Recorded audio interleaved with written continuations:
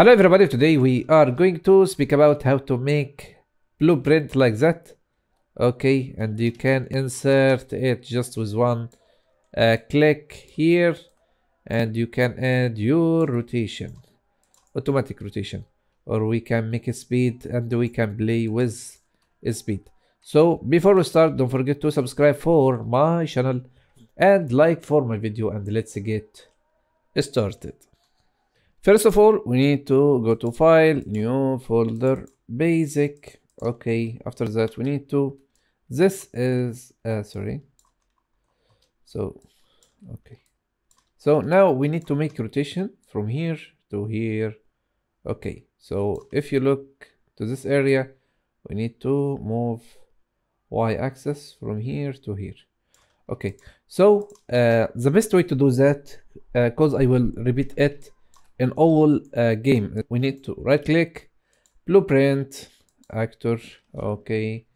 Anim rotate for example as or you can uh, rename it as you like. After that we need to select this mesh add static mesh okay. So this is normal static mesh okay. After that we need to go to event. Graph here. Okay just i need to delete them. Just i need event a tick okay right click add timeline now uh, after that we uh, double click to timeline. Add add float track. So rotation. Rotation. Okay rotation 1 for example. Uh, so the time of our rotation maybe one second and come back in one second. So we need to, uh, two second. So the best way to do that now length for this timeline two second. After that we can go here in zero and in this place click and the click so make sure here time is zero the time here one okay? And we need to come back to zero okay? The curve will come and come back and we will make loop for it. At the first second okay minus we will make value minus one. And here at second one we will need our value to be 1 and we will come back to minus 1 again. Okay minus 1 so if you look here we have this shape. So select all right click break. Okay the curve will come back and we will so make sure we have loop because animation will loop all time. So we will go again to event graph. So here now we will animate my object all time all the level sequence. So we will make it here. Okay. Now when you uh, we need to make rotation for this ob object. So right click set. Relative rotation. Okay? Now I will make rotation. Okay? Update. We will take our this animation uh, this is time our timeline. So now we will connect this value with uh, multiply. Okay?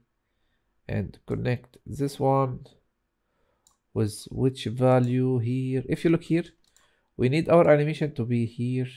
Okay like that. So this value x y. So i need to add my animation to y. Okay event graph here. Right click split. X y z. So we will make it in y value. Value here is not we didn't write any value okay so if you look here we need our animation for example start from 9 uh 75 and the end in 75 like that okay? So we will make here 75 okay? Compile close and come here. Look. Amazing. But if you come here for example and we need to uh, duplicate this one here and we will make play. So all animation the same rotation. But I need to make variation between each other. So the best way to do that double click here. Okay. And we need to make variation in this value. How can we do that? So come to variable and make it value rotation or anything. After that float and compile so make sure this eye is connecting here. So compile and okay and we need to insert this one get value connected here. Okay? Make sure this value to be outside for our uh, compile close so if you come here look there is nothing happened. Why? Because everyone from those have value rotation here. Okay? Maybe we can make 50 and this one 90 degree.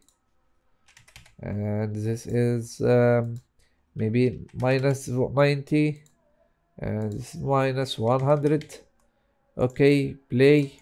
So now look. Everything. So you can make default value here. Maybe we can make default for 90 degree and everyone you can change it. So now if you come to this area and we need to insert it here.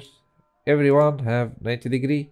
So you can choose and write your value. 60 okay here. No. Okay good. Amazing. Play okay. So uh, maybe uh, next time we will speak how to make damage when you cross in this area. So okay nice.